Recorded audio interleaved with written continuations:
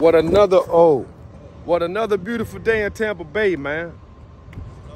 We're at the Port of Tampa this morning. See how beautiful it is around us. You know, it's a beautiful city that we live in. And there's plenty of work around here. You know, the government contracts are available in your city, your county, your state. Contact your local procurement department. It's important. But you see, we got another um, project. This one here a little bit different. See the mangroves. Um, it ain't too many Brazilian peppers over here, Cuba. Solamente mangrove. Mango. Yeah, solamente mango. So these mangroves, we're gonna cut them down to two feet.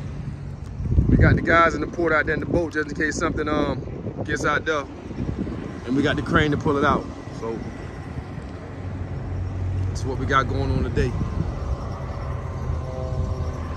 I know a lot of you guys, like I say, man, I've been home from prison since 2012. I made it to the halfway house. Once I got to the halfway house, um, I was there a few months and got out, went home on home confinement. And I talked to a friend of mine and she introduced me to property preservation.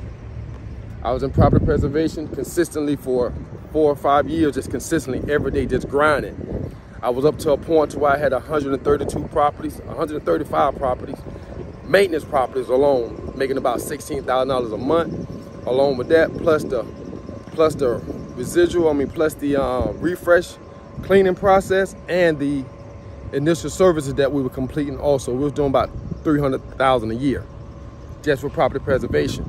Um, we had new management come in.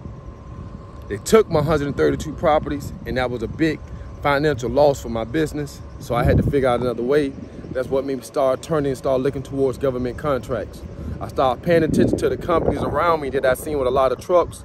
Started doing a little research, figuring out what they was in. Come to find out they was had a lot of government contracts. So I decided to get in the business, you know. So that's where I'm at today. So just giving you guys a little insight on what I got going on. And you see my beautiful city right here behind me. And like I said, I'm not great with shooting these videos because I be moving around so much. So I try and give you guys what I can, you know. But you can see my city, you can see Tampa, see the work we're going to do today, you know. And like I say, the government contracts are available and they're good source of income, you know. So this little quick, little short little video. I post the other half of it once we get done. But you know my motto, man, make it happen or you cap it.